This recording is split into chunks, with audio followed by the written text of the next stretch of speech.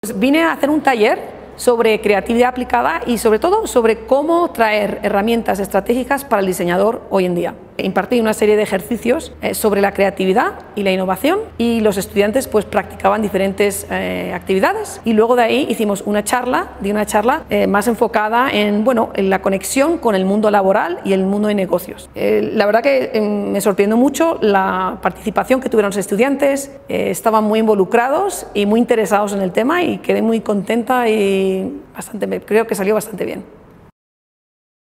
Sí, los huertos urbanos son una técnica de cómo cultivar hortalizas, rabanito, lechuga, cilantro, betabeles, hierbas aromáticas, pero de forma tradicional en espacios pequeños o en espacios grandes. El taller consiste en que primero es fomentar la sustentabilidad y el cuidado del medio ambiente. El segundo es de que nuestro proyecto va enfocado en hacer comunidad con los vecinos, comunidad centro, para tener la oportunidad de capacitación en cuanto a cómo cultivar hortalizas, cómo vamos a cuidar el medio ambiente, pero sobre todo también es el lazo que debemos de tener.